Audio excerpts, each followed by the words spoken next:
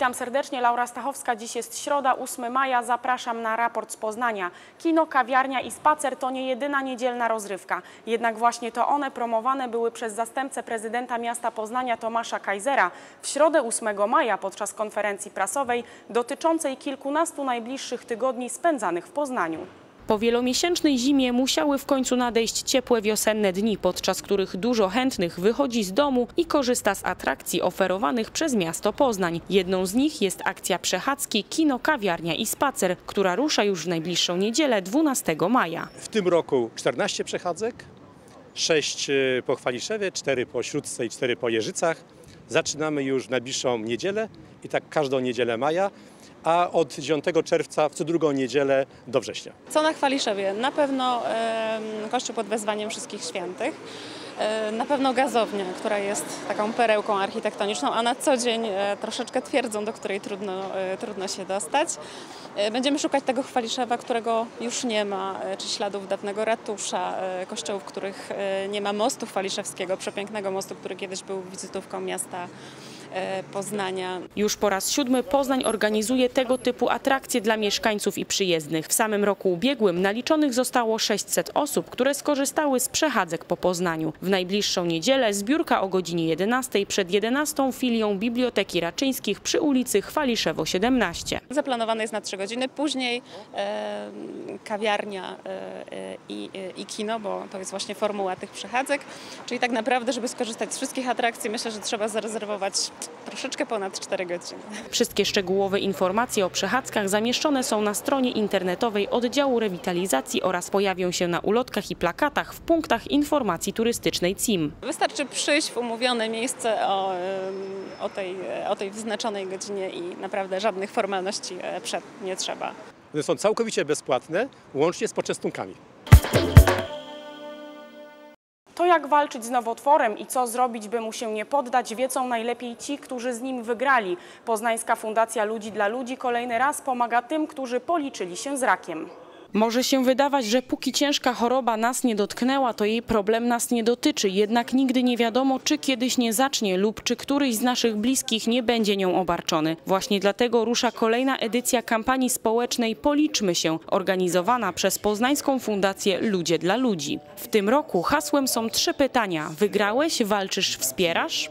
Jeśli wygrałeś, to cieszymy się z tego powodu, ale podziel się swoim szczęściem, podziel się swoją siłą i wesprzyj tych, którzy w tej chwili walczą, a więc jednocześnie i wspieraj. E, Walczysz, trzymamy za ciebie kciuki, namawiamy innych, żeby wsparli ciebie.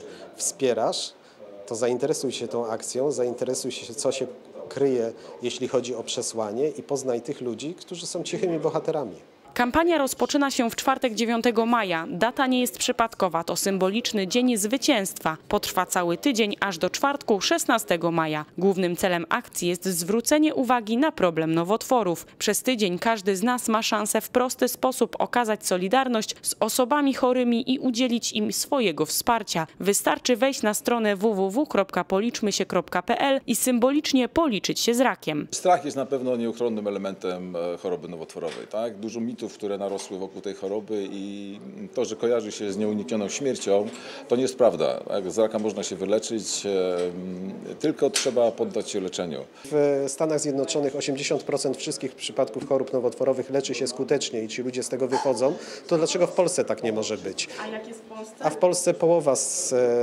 tego, czyli 40% osób, które zachorują na chorobę nowotworową, w tej chwili e, jesteśmy w stanie skutecznie leczyć. Jednak nie oznacza to mniejszej dostępności do specjalistycznego sprzętu czy badań. Przede wszystkim dzieje się tak z powodu zbyt późnego zgłaszania się do specjalistów i braku wykonywania badań profilaktycznych. W akcji Policzmy się udział już wzięli aktorzy, sportowcy i muzycy. Jednak główną rolę odgrywają pacjenci, którzy już wygrali walkę z nowotworem. Osoby z najbliższego otoczenia, które nie przeszły choroby nowotworowej, to mogą być stawiane w takiej sytuacji, a co ty możesz wiedzieć, bo nie, to, bo nie ty masz raka, tak? A co ty możesz wiedzieć, bo nie ty będziesz miał chemię, a co ty możesz wiedzieć, bo nie tobie utną pierś, a co ty możesz wiedzieć, bo nie tobie mm, wypadną włosy.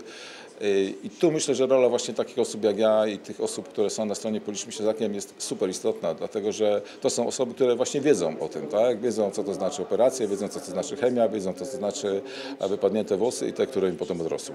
W dotychczasowych edycjach akcji policzyło się w sumie ponad 50 tysięcy osób, w tym wielu tych, którzy wygrali swoją walkę z nowotworem i poprzez swój przykład chcą pokazać, że rak to nie wyrok.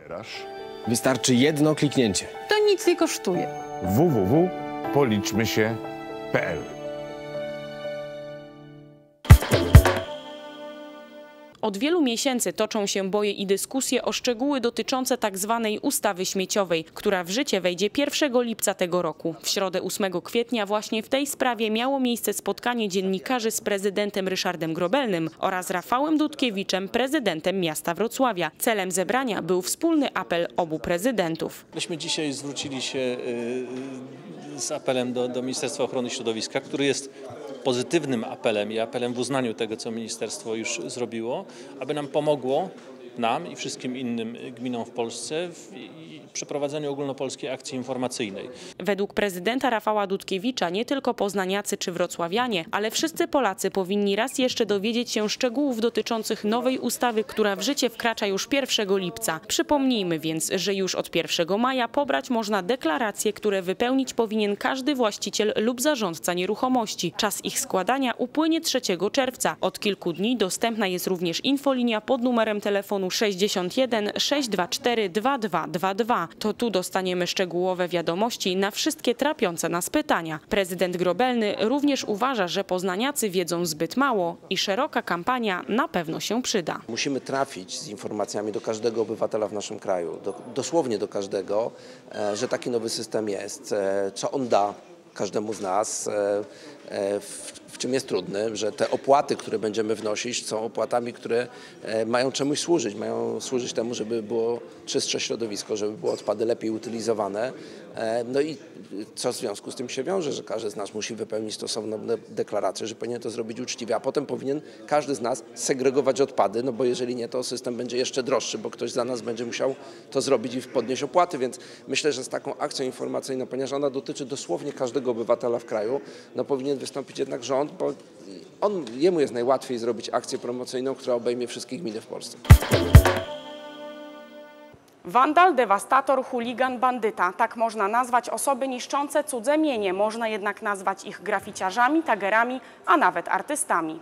Czy malowanie po elewacjach budynków czy murach może być legalne? Do tej pory graficiarze swoje dzieła, większe czy mniejsze, tworzyli głównie pod osłoną nocy. Od teraz w stolicy Wielkopolski może się to zmienić. Jest jednak sporo warunków i ograniczeń. Przede wszystkim miejsce ich tworzenia. W środę 8 maja w areszcie śledczym przy ulicy Młyńskiej 1 odbyła się oficjalna inauguracja programu Poznań promuje sztukę, nie wandalizm. Celem funkcjonującego od połowy kwietnia programu jest wskazanie społeczności graficiarzy legalnych form wyrażania twórczości artystycznej poprzez malowanie innymi farbami w sprayu, wyłącznie w wyznaczonych do tego miejscach. Wraz z inauguracją prezentowane były ściany spacernika aresztu śledczego, pomalowane przez graficiarzy. Miasto Poznań we współpracy z miejskimi jednostkami organizacyjnymi przygotowało już listę miejsc, gdzie legalnie, zgodnie z opracowanymi w ramach programu warunkami, mogą wykonywać swoje dzieła sztuki. Lista jest ciągle otwarta i zarządcy nieruchomości nadal mogą zgłaszać chęć przyłączenia się do programu. Dziękuję Państwu za uwagę. To już wszystkie informacje, jakie dziś przygotowaliśmy w serwisie informacyjnym Raport. Na kolejny zapraszam już jutro o godzinie 19.30. Do zobaczenia.